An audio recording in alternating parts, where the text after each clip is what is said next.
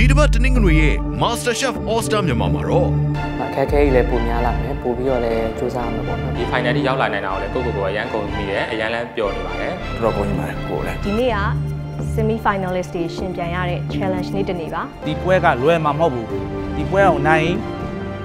you become finalist ဒါနေရဲ့ expectation နဲ့အရင်မြင်ပါတယ် come on ကိုညောင်းရဲ့အားနည်းချက်ကတော့အများကြီးပြောကြမလို့သူက last minute ဆိုရင်လုံးဝပြတယ်ချိန်ပြီးမှာ ချင်းမြင် focus လုပ်ဟုတ်နော်အာကျွန်တော်ရဲ့အားသာကျွန်တော် creation မှာအရင်အားသာတယ်ဘာလို့လဲဆိုတော့ကျွန်တော်တွေးကျွန်တော်တွေးတဲ့ချို့ concept တွေ creation မိုက်တယ်ကျွန်တော်တို့ကတာတယ်ဟိုကိုထွင်ချက်ထားရဲဆိုတာက technique တွေထည့်ချက်ထားရဲ plating မှာကစားထားရဲပစုံအထက်မှာဖြစ်ချင်အမှန်တကယ်ကျွန်တော်တက်တက်လောက်တာ grand final အတွက်အပေါ်မှာစောင့်ရမယ်